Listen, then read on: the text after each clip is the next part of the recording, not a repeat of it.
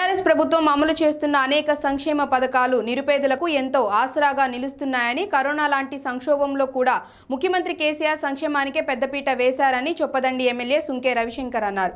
కొడిమాల్య మండలంలో కళ్యాణలక్ష్మి షాదీ ముబారక్ పథకం కింద డెబ్బై ఏడు మందికి మంజూరైన చెక్కులను ఎమ్మెల్యే సుంకే రవిశంకర్ పంపిణీ చేశారు. ఈ సందర్భంగా ఎమ్మెల్యే మాట్లాడుతూ నిరుపేదల సంక్షేమమే ధ్యేయంగా తెరాస ప్రభుత్వం పనిచేస్తోందని అన్నారు.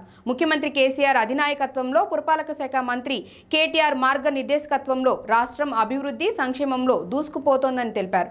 దేశంలో ఎక్కడా లేని విధంగా అనేక పథకాలతో పేదలను అక్కున చేర్చుకున్న ప్రభుత్వం కేసీఆర్ ప్రభుత్వం ఒక్కటే అని ఆయన కొనియాడారు. వచ్చినప్పుడు గౌరవ ముఖ్యమంత్రి గారు అదే జిల్లాలో పర్యటనలో ఉద్యమంలో భాగంగా ఉన్నారు.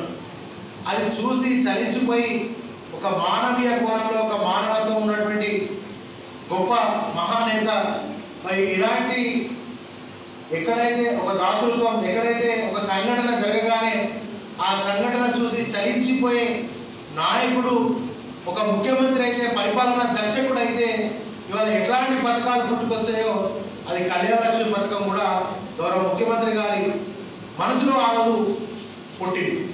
వారు ఆ పెళ్ళి అక్కడ పోయి వాళ్ళ కుటుంబాన్ని ఓదార్చి నీ బిడ్డ పెళ్ళి నేనే చేస్తా అని యాభై వేల రూపాయల కట్నం ఇచ్చి ఆ కల్పన అనేటువంటి అమ్మాయికి బట్టలు బంగారం అన్నీ కూడా స్వయంగా నాటి ఉద్యమ రథసారథి కేసీఆర్ గారు నేటి ముఖ్యమంత్రి గారు